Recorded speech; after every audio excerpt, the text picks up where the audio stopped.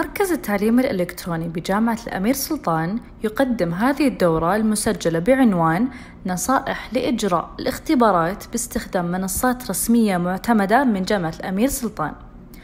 في هذه الدورة سوف نتكلم عن كيفية نظام إدارة التعلم في مودل.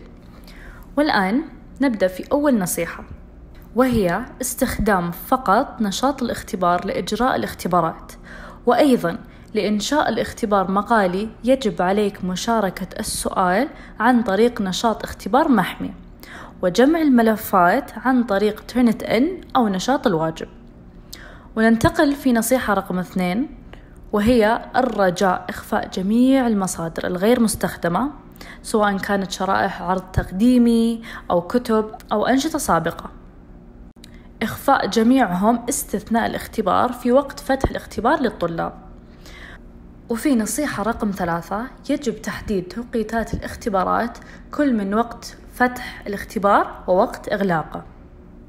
وأيضا ملاحظة الأفضل تعيين الحد الزمني للوقت المسموح به مثل ساعة واحدة للاختبار الفصلي وساعتين للاختبار النهائي ولكن امنح دقيقتان إلى خمس دقائق إضافية لتوفير وقت للطلاب المنضمين متأخرا أو عنده حصول مشاكل في تسجيل الدخول.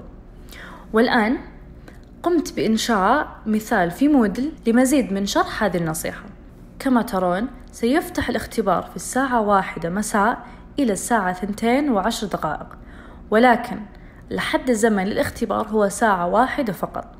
معنى أنه يوجد عشر دقائق إضافية في حالة تأخر الطالب ليس أكثر من عشر دقائق في بداية الاختبار. وبإمكانه إنشاء الاختبار وما زال لديه ساعة للاختبار. لكن عند إنشاء الاختبار بعد عشر دقائق مثلا واحدة وإحدى عشر دقيقة سيكون الحد الزمن للطالب تسعة وخمسين دقيقة وهكذا. والآن نكمل العرض في نصيحة رقم أربعة. يجب تعيين إعداد عند نفاذ الوقت إلى المحولات الجارية يتم تسليمها تلقائيا. في هذه النقطة عندما الطالب لا يمكنه تسليم الاختبار بسبب نفاذ الوقت سوف يتم حفظ حلولهم تلقائيا. والآن ننتقل إلى نصيحة رقم خمسة. يرجى ضبط أن يكون كل سؤال في صفحة جديدة. وأسلوب التنقل حر. يمكن ضبط أسلوب التنقل على أن يكون تتابعي للحصول على فرصة أقل للغش ولكنها على النقيض من ذلك ستمنح الطالب حرية أقل في حل الأسئلة كما يحلو لهم. وفي نصيحة رقم ستة يجب ضبط إعداد أخلط ما ضمن الأسئلة إلى نعم مما سيسمح لوجود اختلافات بين الأسئلة في كل طالب ولذلك يمنع من كل طالب التنقل الأجوبة بين بعض. وفي نصيحة رقم سبعة يجب إلغاء تحديد خيارات المراجعة مما سيمنع الطلاب من نقل الإجابات الصحيحة للطلاب الآخرين. خصوصا في وقت الاختبارات النهائية ذلك بسبب إظهار الدرجات سوف تكون في موقع الجامعة الأمير سلطان.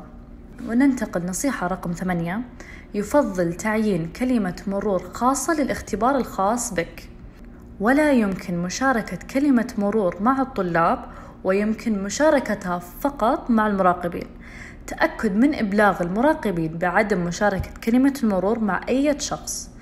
ويجب ألا تكون كلمة المرور واضحة. يجب أن تكون أكثر من ستة أحرف أبجدية أو رقمية. وفي نصيحة رقم تسعة يجب إدخال كلمة المرور فقط من قبل معلم المادة أو المراقب. سيضمن ذلك عدم مشاركة كلمة المرور مع الآخرين وخاصة الطلاب. وننتقل إلى نصيحة رقم عشرة. أنشئ مجموعة من الاختبارات ومجموعة منفصلة من الأسئلة لكل مجموعة. وقد تم بالفعل توفير تدريب مفصل في كيفية تشكيل المجموعات. والآن نصيحة رقم 11 حدد عدد المحاولات المسموح بها إلى محاولة واحدة فقط. ذلك لعدم سماح الطلاب في إنشاء الاختبار مرة أخرى. وفي نصيحة رقم 12 بالنسبة للامتحانات النهائية يكون مركز التعليم الإلكتروني وأيضا مركز تقنية المعلومات على استعداد للوصول إلى المعامل فقط لامتحانات مودل لا يوجد وصول إنترنت لا يوجد وصول خارجي. في نصيحة رقم 13 استخدم نت سبورت لحظر الوصول الكامل. ونصيحة رقم 14 تأكد من التحقق من أن رقم هوية الطالب هي نفسها اسم المستخدم الخاص به. وأيضا نصيحة رقم 15 لا يسمح بالهواتف المحمولة ولا يسمح بأجهزة الكمبيوتر أثناء الاختبارات. إذا أحتاج أعضاء هيئة التدريس إلى الوصول إلى بعض البرامج فيجب إبلاغ مركز تقنية المعلومات قبل أسبوعين من موعد الاختبار والمساعدة في تجهيز المعمل. والآن في نصيحة رقم 16 يجب على المعلم إبلاغ مركز تقنية المعلومات ومركز التعليم الإلكتروني قبل أسبوع واحد على الأقل من الاختبار إذا كانوا بحاجة إلى منع الوصول إلى المواقع ويب معينة في قاعة الاختبار. وفي نصيحة رقم 17 يجب على الطلاب عدم مغادرة قاعة الاختبار قبل أن يتحقق المراقب من أن الطلاب قد سلموا الاختبار النهائي. وذلك بالنقر فوق الزر تسليم الكل وإنهاء الاختبار.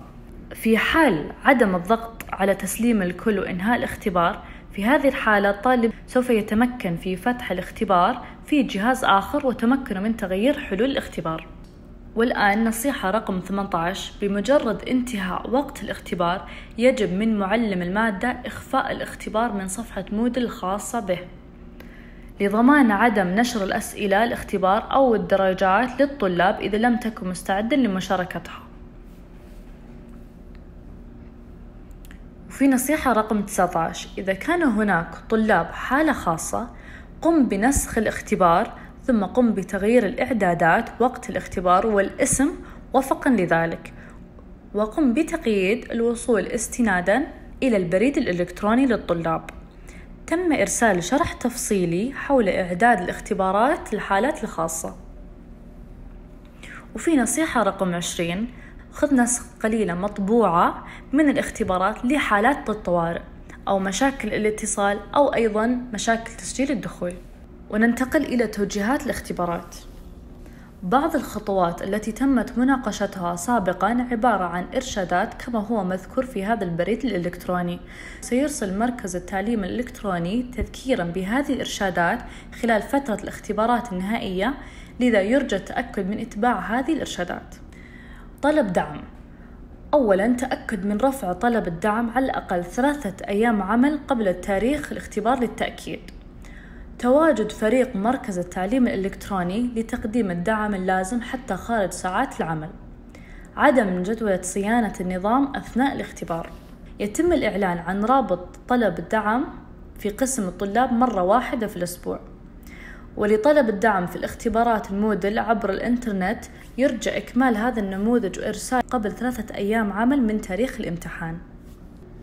في حال طلب الدعم في قسم الطالبات الرجاء تعبئة استبيان المركز التعليم الإلكتروني. والآن ننتقل إلى موضوع إرشادات NetSupport. في نصيحة رقم واحد قم بتسجيل الدخول إلى جميع حسابات الطلاب وذلك بالنقر على student toolbar موجود ال log in زي ما تشوفون في السهم بعدها نصيحة رقم اثنين اجمع جميع الملفات من أجهزة الطلاب. مثل ما موجود في الصورة send collect work إمكانك إرسال أو جمع الملفات. وفي نصيحة رقم ثلاثة انقل جميع المجلدات إلى الطلاب جميعا. في الضغط على file transfer يوجد نقل الملفات أو توزيع الملفات. ننتقل إلى نصيحة رقم أربعة. أحجب جميع المواقع ال NetSupport الإلكترونية من خلال النقر على شريط الأدوات الأيسر. يمكنك منع جميع المواقع الإلكترونية وذلك يمنع الطلاب من بحث عن الأسئلة أو استعمالها بشكل عام. وفي نصيحة رقم خمسة استعرض تاريخ محركات البحث الخاصة بالطلاب. وعند نصيحة رقم ستة راقب نشاطات الطلاب بشكل مباشر. وأيضا يمكنك إنشاء كلمة المرور للاختبار لكل طالب بشكل فردي.